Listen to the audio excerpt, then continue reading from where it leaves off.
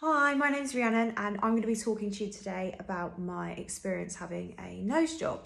So I had a nose job earlier on this year in March, so it's been six months now and I'm really happy with the results. It hasn't fully healed yet.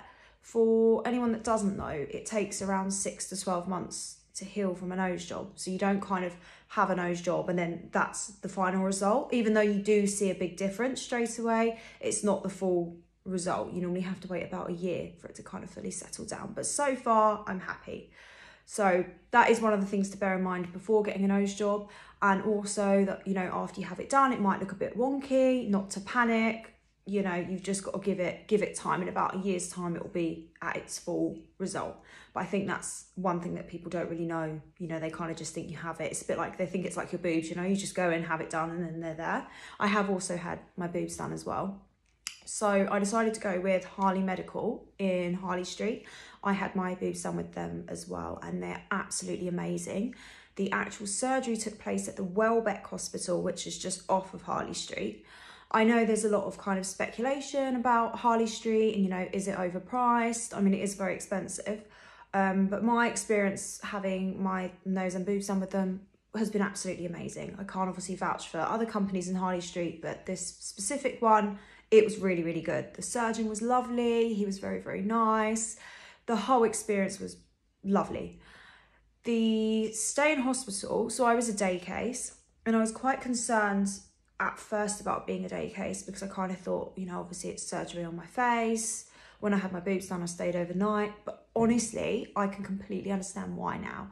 I was not in any pain at all. Like even just coming round from the surgery, I mean, obviously you are drugged up and you are taking medication for about a week. So you're not in pain. It's just more uncomfortable because for the week you have to wear a cast.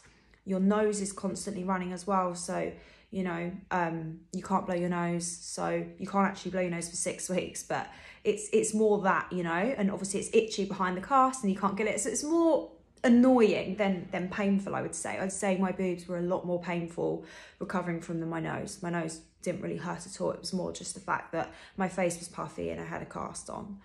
So yeah, it was completely fine. I had my surgery in the morning, which is normally the case for nose jobs. They normally get them out of the way first because, you know, the surgery takes about three hours. Well, mine did anyway. I had open rhinoplasty, I think, which is the most um, invasive form of, of rhinoplasty. My nose was quite bulbous before and I had a hump on the side. So there was there was quite a lot to do. So yeah, I'm sure you can see from the thumbnail that there's quite a bit of difference. But yeah, I'm really, really happy so far.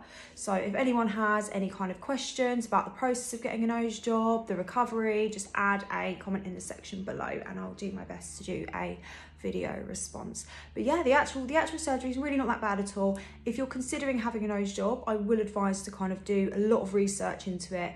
Don't just go with anyone, especially if it's abroad make sure that you do your research even in the UK, I would, you know, just look at reviews. Don't just go on their website, go on different websites or kind of Google it, look at all the different reviews and just kind of make your mind up that way. You do normally have to have around two consultations anyway prior to having the actual surgery, just to make sure you're 100%, you know, you want to go ahead with it and you're getting it done for the right reasons. But honestly, it's the best thing I've absolutely done.